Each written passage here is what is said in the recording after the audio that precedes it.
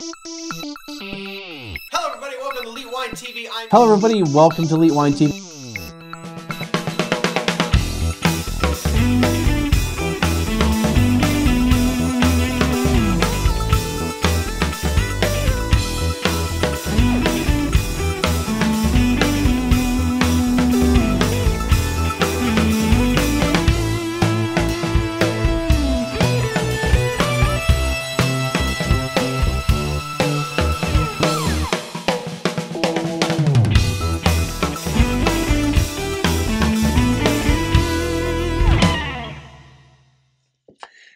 Everybody. Welcome to Elite Wine TV. I'm your host, Mark Fusco, here for another edition of the show.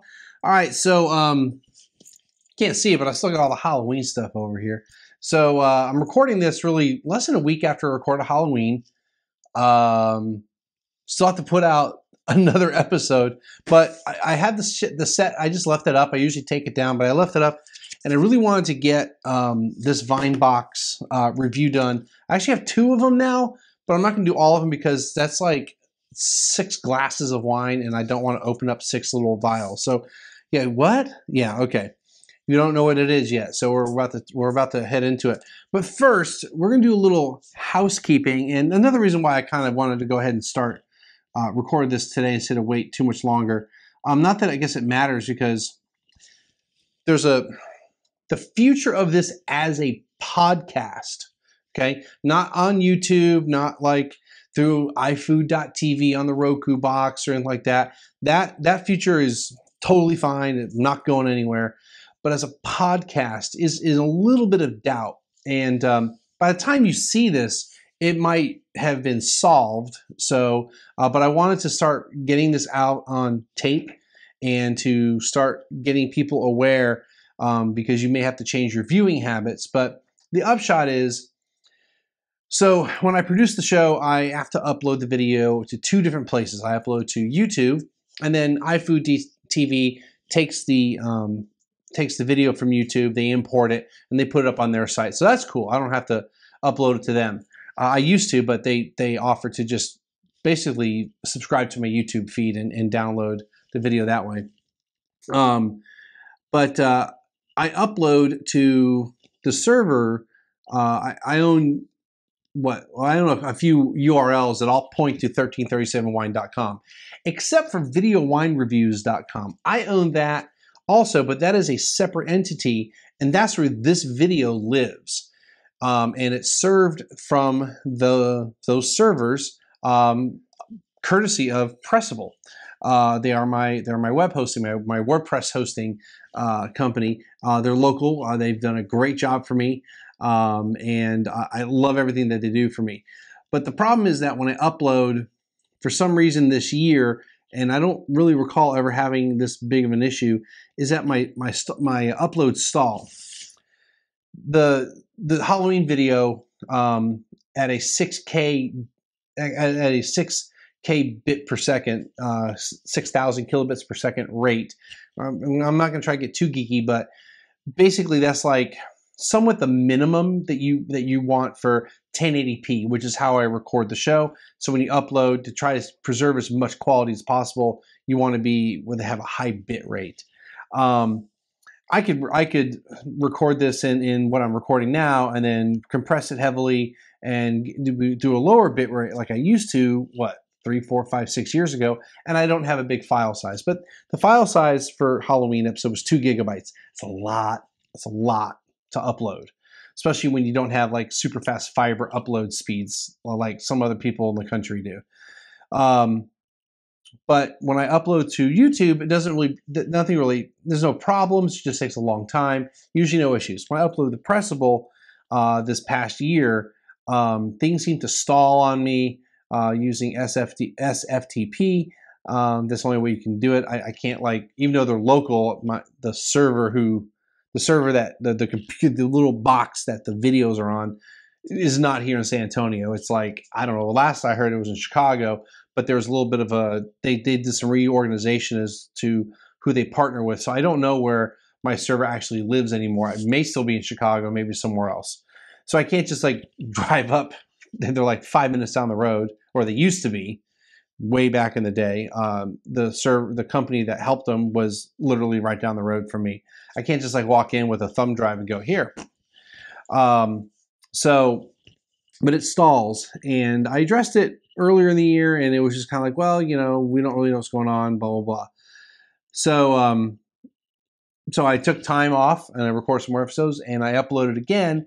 In the last couple episodes, I I have to babysit the computer. I have to like wait, and it literally takes like two days to upload something that should take two to three hours. Um, so I finally said, "Hey, something wrong," and I guess the red flag went up, and they're like, "Whoa, what are you doing?" So I touted this a while ago that they gave me unlimited bandwidth, unlimited storage on the uh, uh, for my website, and they charged me based upon views. Um, and they actually upgraded the number of views you can get for the for, for the level account I have. So I, I, based upon that, I'll never ever have to worry about having to pay more money per month. I actually get a great rate. I can have five websites. It's awesome. Um, but I'm a resource hog, and we went into this. At least me and a representative of the company went into this knowing full well what was going on. Now, I don't think anything happened personally to me uh, from the emails I've exchanged with with them um, because they literally had no clue that I was using the resources I was using. But uh, the initial email was like, "Hey, you know, you're you're going way over what is intended, even though it's unlimited. We all know. I won't say all we know. There are many of us who know that unlimited when it comes to data, um, whether it's your cell phone, or your internet service provider um, isn't always truly unlimited because 99% of the people never tax the system. I'm part of that 1% um, that occasionally tax the system when it comes to my web hosting thing when I'm uploading. And then honestly, you know, depending on how many videos are downloaded, I have no idea what what the pattern is, but it's a lot of it's a lot of data. Um, when we're talking the numbers that, I, that get downloaded for the podcast, which is kind of weird because iTunes itself, I don't have a ton of subscribers. I actually have very few subscribers on iTunes itself. However, I still I I'm kind of close to my views when I was back on blip.tv and the the our, the the feed that that uh, the podcast lives on. I'm starting to get similar numbers in viewership. So uh, bandwidth's going up, and uh, they the the representative said, you know, you're up, you're, the file size you're uploading is way more than we intend to have, and they weren't being mean to them. They were just kind of like, hey, is there something that we need to know? So we've got a, a little back and forth, and uh, initially when I wrote a post from, well, as far as you're concerned, a couple weeks ago, saying that the future of the podcast is in jeopardy, um, that I may not be able to be on iTunes, and if you're watching through that feed, um, you'd have to watch me on YouTube or through the website or on iFood TV. Um, so initially, because I was like, well, obviously I'm, I'm using way more than I'm, I'm, they, they intend. I probably need to look elsewhere. Uh, but since then, we've had some, uh, and we'll probably between actually today and when you watch this video, we'll probably have a few more emails. But it looks like um, that post, not that it's an error, but I may not have to be as drastic as I thought I was going to have to be starting December, I mean, starting January 2017. However, be aware, and of course, as these get updated, um, I will keep you all updated as to whether or not the planned date, self imposed change, because they did not give me any deadline or anything, um, of January 2017 to no longer have a video podcast of, of the show. However, I did not put this in the written post there's nothing that prevents me from having an audio podcast. A lot of people, I mean, I listen to podcasts all the time.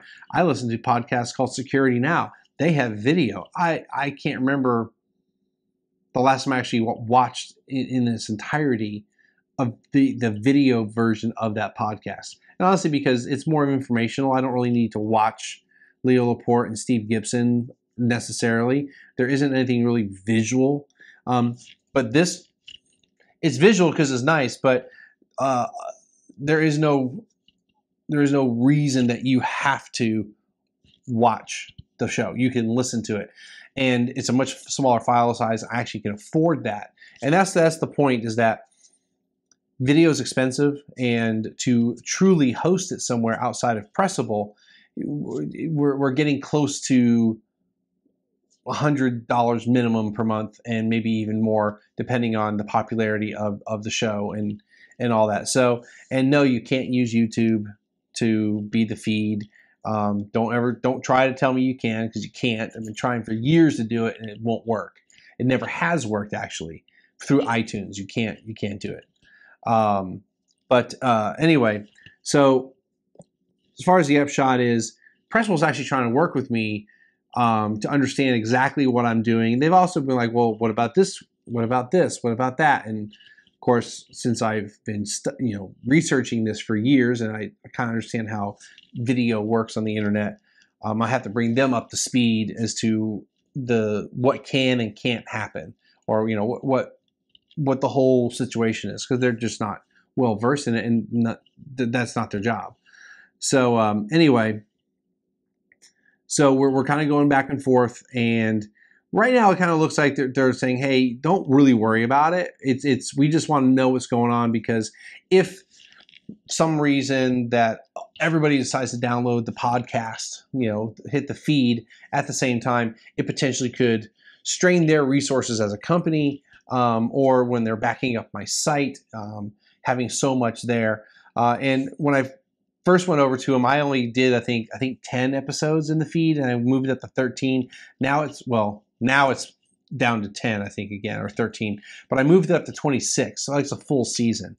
Um, I may keep it as a smaller thing, and then I can also delete the the episodes that are not required, just to be kind of nice, right?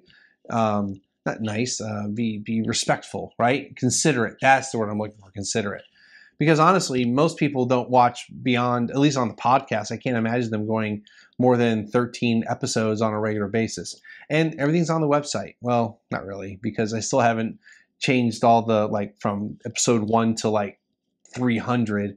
I still haven't eh, changed the embed code to YouTube from blip.tv. But it's everything's on YouTube. So if somebody wants to watch episode one for whatever reason, they can go watch it.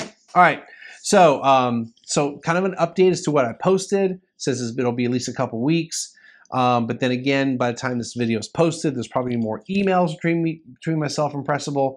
So, bottom line, nothing may change. However, don't be surprised if the next video, all the videos between now and the end of the year, I tell you, hey, go watch me on YouTube. Go watch me on iFood TV, your Apple TV, your Roku box, your Xbox, PlayStation, Smart TV. All of them have at least the ability to watch, and even TiVo, which is where I I had almost all my subscribers, and now I, I think I think I'm getting my subscribers back on that. Um, all of them can watch my stuff on YouTube, and you know what? That's the only place I make revenue other than iFood TV. iFood TV, I can make revenue, and they actually pay me. YouTube has yet to pay me because I haven't hit the minimum yet, which is kind of funny because I don't know. Anyway, I get a lot of views on iFood.tv or iWine.tv, and they have apps on Roku and blah blah blah. So God love you guys that watch me there. I, I think it's freaking phenomenal, and and they are super supportive. Matter of fact, I, I probably I forgot to send uh, my contact there an email going, hey, the Halloween episode's up, so you probably want to feature it now instead of waiting. Um, so after I record, I'll have to send her an email. Um, but anyway, so the long, long little housekeeping there to kind of explain what's going on. Uh, let's get into this product here. So I saw them uh, a few months ago and I thought it was an interesting idea. So for $35 a month, you just automatically pay 35 bucks a month. They automatically send you a box of wine. Well, this is the box.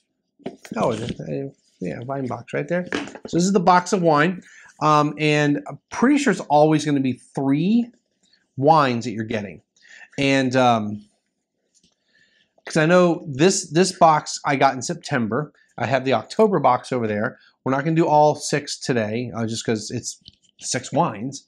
But um, we're going to do these three wines uh, today, and then I'll do the other three in a little bit later. So um, it's a nice little box, and they're nice little. Um, got these three vials. These are six ounces of wine. Actually, I think it's technically 187 milliliters.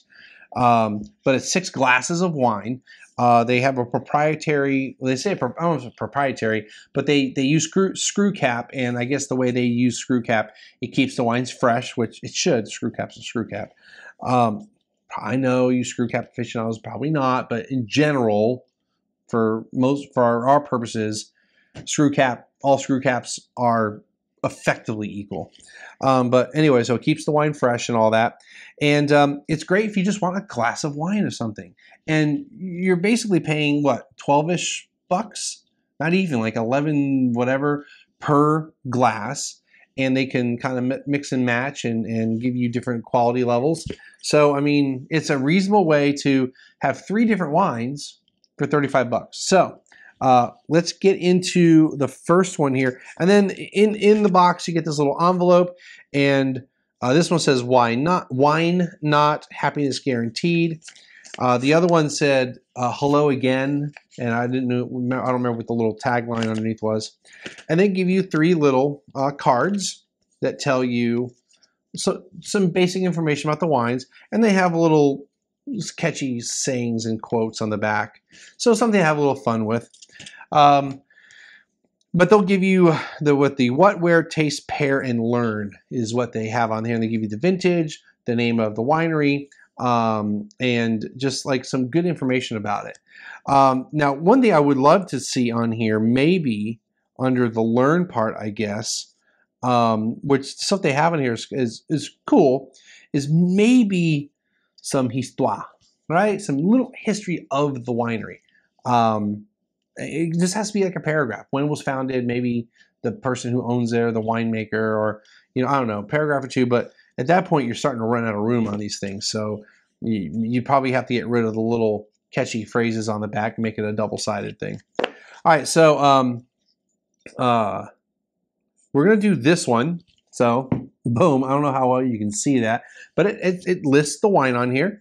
Um, and it has a government warning. It has all the all the things you need to have on a wine label, like you know who's the manufacturer or who's the winery, who, who makes the wine, and the alcohol level, and oh, it's actually 100 milliliters. I'm sorry, not 187. 187 is a little bit more than than that.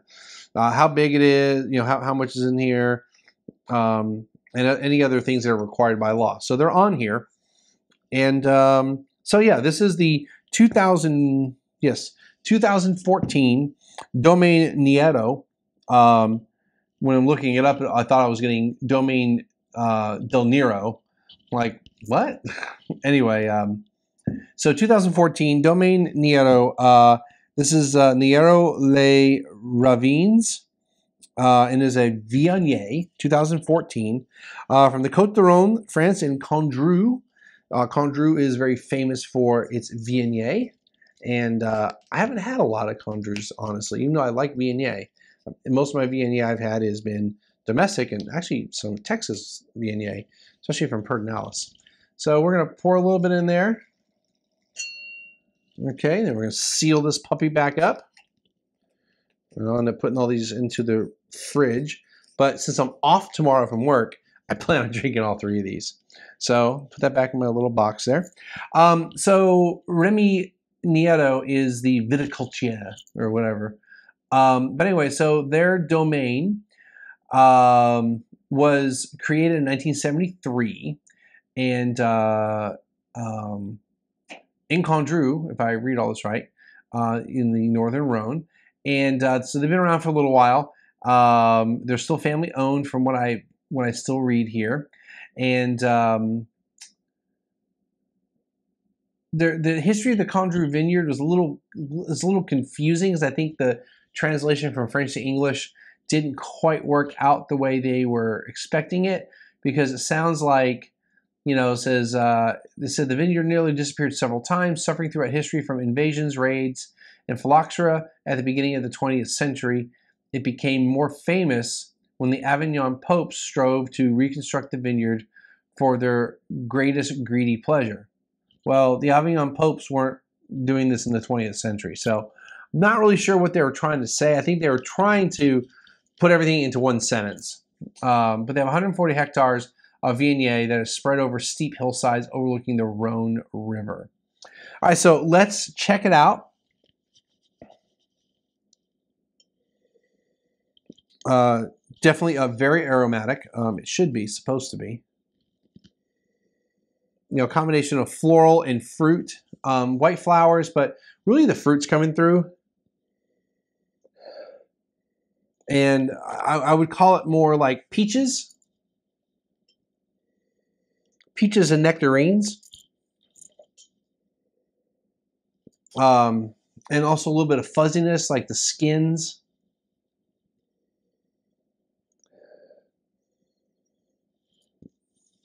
Little bit of the candy too. And uh, cantaloupe. Cantaloupe rind. But yeah, really pleasant nose. I mean, nose wise is great.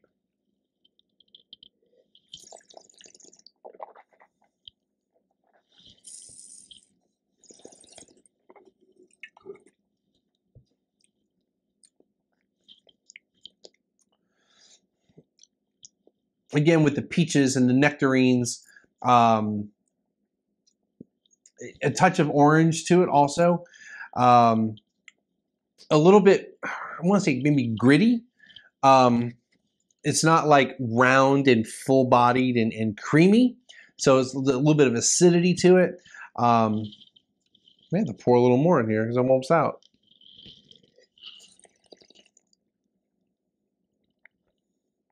Hmm. And a little bit of herbaceousness to it on that. Um, I was a little surprised by that. This is room temperature, so it's a little hotter, even though it's like a th like 13% alcohol. I don't know if it has on here on on the on the little tube. It does. Um, I mean, I probably should have this chilled a little bit. I think it was 13%. Yeah, 13% alcohol. Um, but really tasty, and like I cannot wait to drink this a little bit tomorrow. Uh, chill it in a nice glass and uh, and check it out. Um, I mean, it's a ten dollar glass of wine. So basically, we think about this. These these are can be upwards of forty dollar bottles of wine. Um, if you think four glasses per per uh, per bottle. Um, actually, no, it says hundred milliliters, right? Well, seven fifty is is how much a big bottle is. Yeah. So this is like a seventh of a bottle, not even. So yeah, I mean, if you think about it, I mean, depending on how they do their pricing, this could be like the equivalent of a $30 bottle of wine, and then one of the other ones could be the equivalent of an $80 bottle of wine. So, but I really like it. It's very tasty. All right, so let's move on to the next wine. So I like these little cards. Next wine is the Chateau Les Crostes, I guess. Um, this is also in France. By the way, um, I think all their stuff right now is old world. Um, I, I, I, I think they're trying to get some domestic producers, but this is the this is where they've sourced all their wines. Um, the other ones I know are are from Europe somewhere. Uh, anyway, this is a Cinsault Grenache. Uh, basically, it's a rosé. Um, and uh, from the from Provence, and Provence is well known for their rosés. Okay, so, um, oh yeah, what was I say on the learn here? Uh, back to the Viognier. Learn. Viognier originated in northern Rhone and is notoriously fickle grape to grow. It must be picked at its optimum ripeness and is most successfully grown in Condrieu due to its granite-rich soils. Um, taste says an elegant medium to full body, which it is, uh, displaying delicate notes of fresh fruit and flowers with a great mineral finish. Yeah, I'll take that. That'll work. All right. So uh, this place, uh, it was built. Uh, well, the, the the building, the chateau itself, was built in 1653 by Le Comte de Ramatuelle uh, and it was used as an olive production estate until 1956. Then after that, uh, says 1984, the property was transformed into a vineyard by Jean Didier. Um, and then after that, they became a winery and the rest of it's just like, well, this year so and so did this, and blah blah blah blah blah. Um, let's see. The German family in 1998, Lademacher buys the chateau, and there was something about the second generation, Claire and Felix de Luxembourg, takes over the family vineyard in 2013. So I don't know where the Luxembourg clan came from in its second generation because nowhere else is that that name mentioned. All right, so a rosé from Cinsault and Grenache. And uh, it's not really necessarily, I mean, it's a really pale, pale, pale salmon color, but there's, there's, it is a rosé. I would at least call it that. Oh, this is nice, pleasant. Um, I'd say definitely a um, aromatic, um, moderately, moderately uh, aromatic. Strawberries are the, to me, the primary, um, the primary uh, aroma. And maybe raspberry. Almost like a fruit cup, I guess, right? A little bit of floral.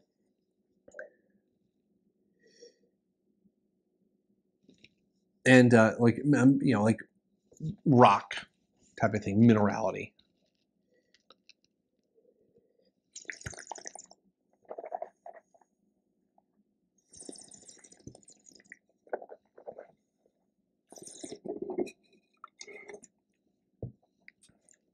Again, probably should be chilled a little bit. Um, it's got that watermelon strawberry like you know hard candy type uh, flavor to it but not sweet right it is definitely dry um, also a little floral to it um, maybe even a little cranberry there's this I wouldn't call it a bitterness, but a tartness to it. A tartness to it. Like remember Harry Mandel? We always did that. Um, anyway, uh, like a little bit tartness to it. Yeah. Um, not as gritty as the Viognier, but there's there's a, a grip to it and a, uh, an acidic, good acid to it. Um, it's really pleasant. I like it. All right, so what do they say? Learn. Only 300 cases of this rosé are imported to the USA every year. Um, blah blah blah. They say this pale. I said it was pale. Uh, Provençal Princess wine is crisp and lean with just enough red fruit as its core carries lively minerality. Raspberry sorbetto. Oh, okay. On the nose, hints of fresh cut citrus, okay, and a crispness from the limestone soils, yada yada yada. I mean, it's it is crisp is a good way to put it. Um, it's really pleasant. I like it. Like, I want to drink all of it right now, but I'm gonna go to sleep. It's like freaking 2:30 in the morning. Got home from work, from the day job. This is my Friday. I'm recording Oh, well, actually, it's not even on a Tuesday anymore. It's really Wednesday morning. But for all intents purposes, on a Tuesday. Just wanted to say that. Um, so my days off typically are Wednesday, Thursday from the day job, and I was like, screw it, let's let's record it. I got nothing better to do tomorrow other than vote, which of course this is coming out after November eighth, and that's all I'm gonna say. I voted. Um, I'm not getting into all that stuff. But uh, so do that and some other errands tomorrow. But uh, I like this. I, you know, I kind of feel like a like like a, Johnny Carson. You know who that guy is? now? David Letterman. he's retired too. Uh, Conan. There you go. Conan O'Brien. I got my little cards and blah blah blah and fling them off. No, I'm not going to do that. Very nice. You know, and and I don't know how why. Oh, there was the 2013. No, sorry, 2015. By the way, on the vintage of this. Um, hmm. It's very nice. I like the Viognier better, but there's more personal preference. But I love rosés. I love dry rosés from uh, that part of France. All right, so um, I would imagine that you know it says like this one says 300 cases are exported to the U.S. Somewhere along the line, you might find this wine maybe if I do a little more research during the editing, I can find out how much the bottle costs. uh, re- what the typical retail is, but you know, it's ten bucks for that vial of ish of 100 milliliters of wine. All right, so let's move on to the last wine. Now this is the 2013, and now it's it's a red wine, so you can kind of see a little. You, you might even be able to read it. I don't know. The Chateau de la Gardine, um, Chateauneuf de Pape, Chateauneuf de Poupy. I don't know. If you've ever seen the, the, the video, there's a, a video. It's like some comedy video trying to say how to pronounce Chateauneuf de Pape, and it's it's really funny. And they they do other. They, I've done like a couple other wine ones, but then just like create. They just do stupid ways to pronounce all these types of words and phrases. Have nothing to do with wine, by the way. Um, anyway, so 2013. Uh, this is a blend of Grenache, Syrah, Mourvedre, and Muscardin. Um, now, this winery, uh, the building, uh, the winemaking tradition of the Brunel family dates back to the 17th century. Gaston Brunel, a famous negociant, acquired the Chateau de la Gardine in Châteauneuf-du-Pape in 1945. Um, and now run by his two sons, Patrick and Maxime, with the help of their wives, Eve and Maurice. Yeah. And yada, yada, yada, yada, yada. Uh, 52 hectares of vineyards, or, or the estate spreads over 52 hectares of vineyards, 48 of red and 4 of white, and 20 hectares of forests. Blah, blah, blah and uh, they today around 70% of the production is exported in about 30 countries. So, um, and they have like a special bottle. Uh, they talk about uh, the Gardine bottle. Uh, both original and elegant is the result of a happy coincidence. When he first when he first wanted to expand his cellar while digging in the ground, Gaston Brunel found a mouth-blown bottle. He loved it and decided to use a similar shape for all of his wine. At the beginning, he had to go all the way to Italy to find a glass supplier and that was able to make it since 1964. All of our wines have been bottled in the unique La Gardine shaped bottle. Um, it looks kind of like a regular Chateauneuf de Pape bottle, so I'm not really, at least the one picture we have of it. Um, maybe I should look at their list of wines. Yeah, it's a little more squat it's not like you know it, it doesn't come up as high and then taper. It's a longer neck and like that. So something a little bit different. All right so let's check this out. Because we're already at half an hour. So another two gigabyte file by the way. All right. Pour a little bit in there. I feel like i'm doing science experiments or something like that Let's seal that up nice and tight. All right. I think it's a cool idea. Flip that over. Yeah, I didn't really put that much in because I want to enjoy these wines a little bit later. Ooh. That was a good ooh, by the way. More spicy than anything else. Uh, red fruits, um, a little bit of darker fruits, let's say more raspberry and maybe a little cranberry. But the um, clove, that's that's the spice I'm really looking for more than anything else. Clove, uh, a little bit of cedar box. Yeah, really nice nose.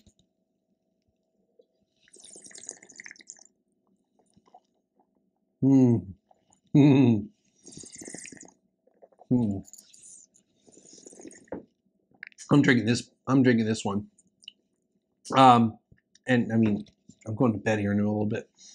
Uh, yeah, there's there's there's that that um, uh, earthiness, that dry earth, dusty uh, ness to it um, that comes through way more than the fruit. Like the fruit's there, but this is all about the dirt. Um, and it's really that dustiness. It's not. It's not that.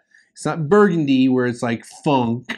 It's just like that good dirt. I mean, I'd almost, I'd almost start going. Well, this might be an Italian wine because it's got a lot of that dust and leather component to it, but a little bit different. Um, it, it's just tasty. I mean, really. Um, I'm on their regular website here, so wonder if I can find generations, generations, Resto, Chateau de la. I bet you this is it right here. Order in France. So let's see how much it is. Uh, nothing happened. I clicked order France and it just takes me to the wines. Well, you know, I don't know how much it is. Uh, like I said, hopefully I'll remember to kind of look up maybe the bottle prices of these things. This is tasty.